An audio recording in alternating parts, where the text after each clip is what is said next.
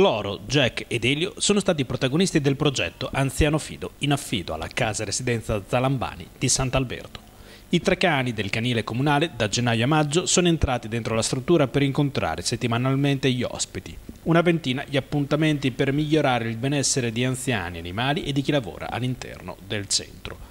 Nella speranza di poterla ripetere, sabato è stato presentato il bilancio dell'iniziativa ideata con molteplici obiettivi. Volevamo trovare un'attività eh, che stimolasse gli anziani nel, nei ricordi, qualcosa che fosse come mh, mm, un facilitatore eh, sociale che facesse esprimere eh, le emozioni e, e, quindi abbiamo pensato a questa attività con, ehm, con l'animale all'interno della struttura in modo da eh, dare anche la possibilità all'animale, al cane di rendersi visibile e dare la possibilità all'animale di essere adottato. Infatti abbiamo scelto eh, cani del canile municipale di Ravenna. Non avete fatto una pet therapy all'interno della struttura? Ecco esatto, che cosa avete fatto esattamente? Uno scambio emozionale, cioè si è preparato un cane, preparato fra virgolette, si è corretto in alcuni comportamenti perché sono cani abbandonati, lasciati e quindi si ritrovano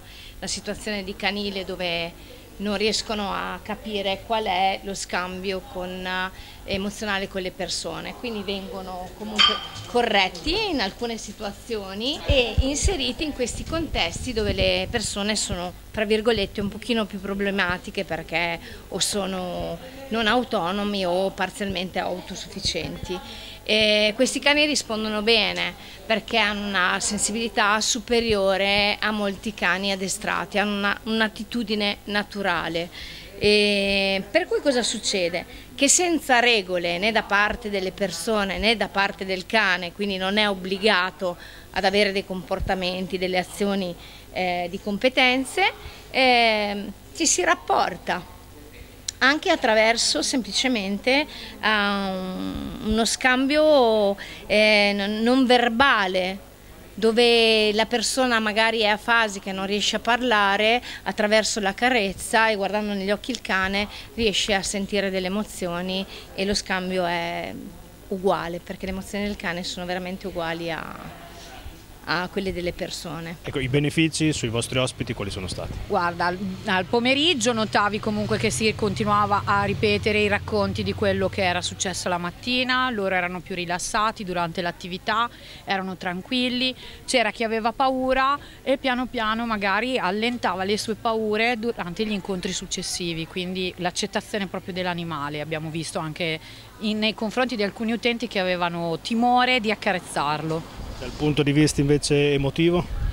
Dal punto di vista emotivo loro erano contenti di vederlo, cioè loro aspettavano il martedì proprio perché sapeva che arrivavano o Cloro o Jack o um, Elio. Elio poi era un cane che abbracciava, era proprio coccoloso, era bellissimo. Jack è, invece era un cane più da, da, cortile, quindi ah, uscivamo fuori, lo vedevano che cercava magari la lucertola e quindi loro erano erano presi dal guardare quello che faceva anche il cane, non solo dentro la struttura ma anche fuori. Siamo riusciti veramente a creare eh, per gli ospiti un ambiente di serenità dove il cane si è sentito protagonista, coccolato e amato e siamo riusciti a far adottare, a trovare casa due cani su tre quindi credo che sia un'ottima esperienza. Un'ottima esperienza che si è conclusa con un'adozione a, a, vostra volta. Eh, sì, eh, diciamo che noi abbiamo scelto di adottare una gattina di tre anni che era stata abbandonata ed è stato veramente anche questa un'ottima un decisione perché la gattina si è inserita molto bene e ormai è diventata la mascotte della struttura.